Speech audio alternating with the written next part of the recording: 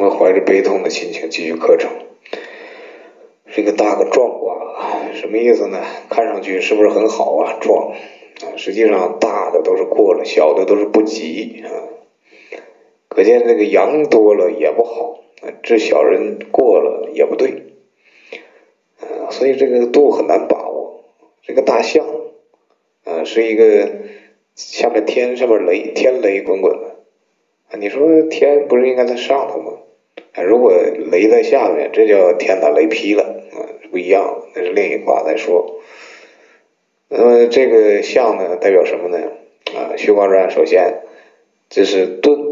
而后大壮，就说这个退隐之后啊，啊，你不能一直退，该出世，该行道要行，不能光顾自己。但是呢，杂卦里面有讲这叫止的意思，告告诉你这个啊，凡事适可而止。他这个每一个解释啊，你甚至把这个解释都可以用在这个卦辞，把它换一个名字啊。就像很多这个神煞这个说法不一样啊，有些代称的符号等等都有替代，都有其他的意思啊。然后看卦辞立贞，立于守成啊，前面呢都都都不利，或者都已经过去，只能守成，不要过度。然后初九开始。那你会发现每一个爻怎么回事呢？壮于止，争凶有福。那阳居阳位，按道理都是好的。啊，九二贞吉，阳居阴位，那反而好。那初九就不好。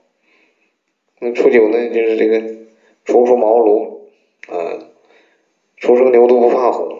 你这个劲儿是好的，嗯，是有这个诚心的。这个心不能灭，灭了也就彻底完了啊！但是太冲动了，会想到这个乾卦初九，乾隆无用，让你不要太毛糙，早晚会碰壁啊！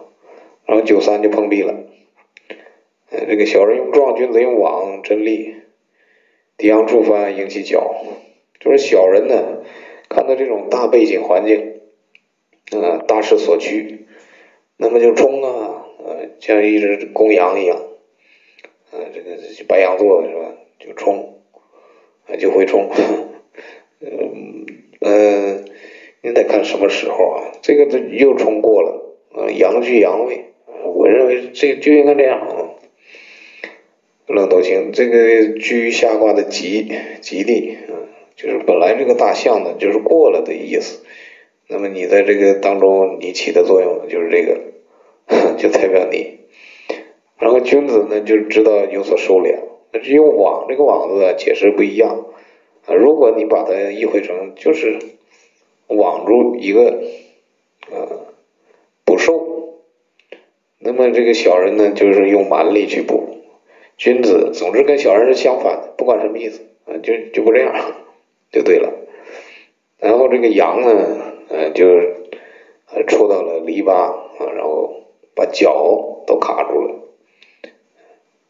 后面还有啊，九四呢，阳居阴位啊，阴阳阴阳，呃，有男女干活搭配，又又平衡了，毁亡啊，就这个事儿过去了呢，我就反省，呃，找到原因了，下次不会了，嗯，就不会再嗯卡住脚了。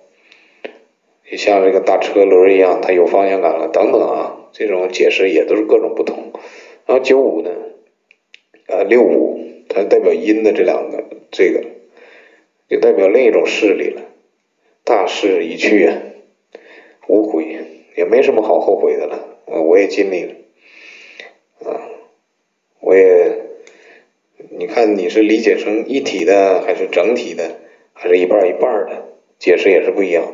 那么商六呢，物极必反，嗯，阳阴的又变阳了，嗯，看似阴，实为阳的一个意思，那就是挣扎啊，宁死不屈，宁为玉碎不为瓦全啊，等等等等。